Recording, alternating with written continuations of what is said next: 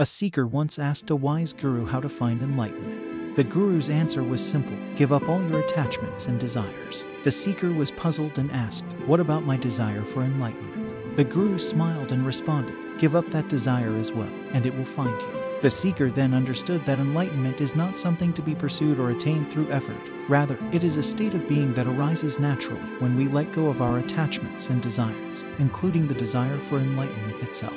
With this realization, the seeker felt a sense of freedom and peace. The Guru's wisdom reminds us that the pursuit of enlightenment can often become a hindrance to our spiritual growth.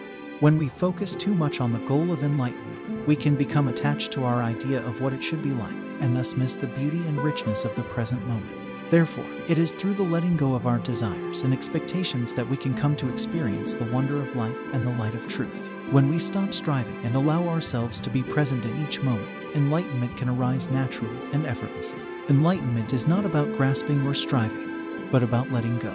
By releasing our attachments and desires, we open ourselves up to the beauty of the present moment and connect with the divine light of truth within us. Let us surrender our expectations and fears and step forward into the unknown with open hearts and minds, for it is in this space of surrender that we find peace, love, and the infinite beauty of life.